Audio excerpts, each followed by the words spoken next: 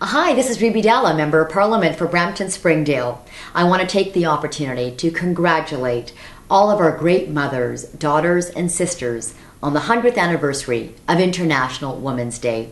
As we celebrate the 100th anniversary of International Women's Day, it is an opportunity to reflect on the past, to appreciate the present, and hope for the very best in the future.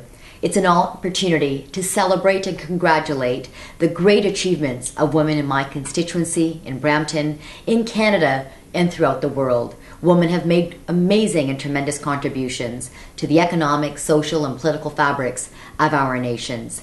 We want to continue to ensure that the voices of women are heard so that every young girl out there has hope for a better tomorrow and a brighter future working with you, working together, we can make it happen. I hope all of you visit my website at www.rubydhalla.ca. Make sure you take a look to get involved and have your voice heard. Together, we will make a difference.